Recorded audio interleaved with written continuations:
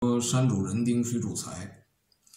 这个南方自古以来，什么江南呢，到至今这个沿海城市还是经济发达的地区。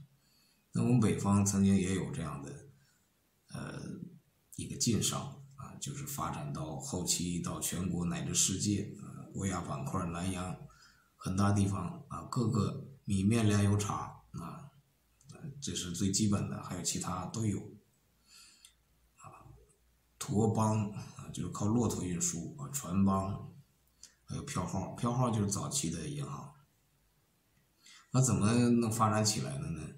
也有历史的原因。首先说的天时地利，是吧？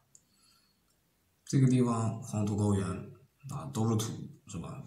种庄稼不容易长啊，然后经常有各种灾，所以交通也不便利。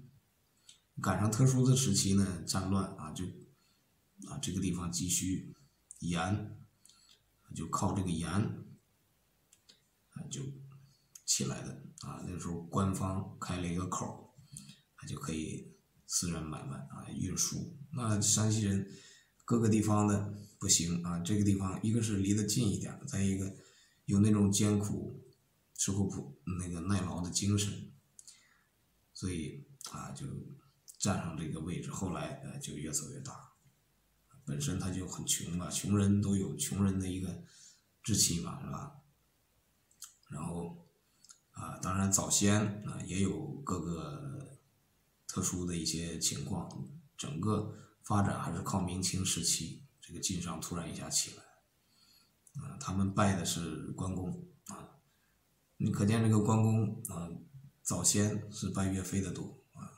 在之后就一路上来，这个人造神的这个命运啊，跟他们也是功不可没。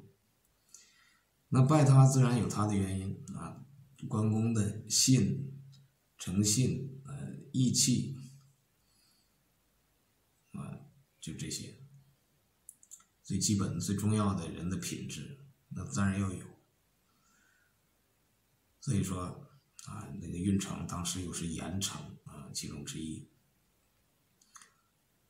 那就这样慢慢起来啊。那到后来呢，就是这个银行的前身的票号啊，就是在中国名义上虽然是比较晚，比西方晚了二百年，但是后来就呃有各自。它自身的一些优势，至今我们还予以参考啊。股权分离嘛，就是投资者不经营，经营者不投资嘛。啊，最上端的三个掌柜，那他可以放开心啊，大胆的去眼光整个局势最后的这个发展啊，他们只收这个分红。而在这个之前，就是你想加入这个圈儿。你就要有，呃，三年的学徒，那这三年，那其中最重要的还是学品德，所以说，这个这个三年你收入比其他的，甚至从仕途干什么，你至少生活物质方面非常好，所以为什么他们就，其实还是读书的少了，但是你看武将、关公、武财神是吧？一路功名同样行。那做人只要不缺别的还，至于说这个这个仕途啊，有些说后后期可能是因为读书少，没有及时把握这个呃外界侵略、外资本的这种变革，啊导致他比较拘束也有关系。武将比较重财，文官比较重权重名，所以现在山西煤老板，你看可能。大家都不知名啊，所以各个地方有各个地方的特色，靠山吃山，哪个地方都有能起来的。然后后面啊三年，每年逐字递增，这个钱越来越多，但是还是不能拿回家，除非你要回去就不能再来啊，你要加入股权，就是这样。那后期的没落原因主要也是太有钱了。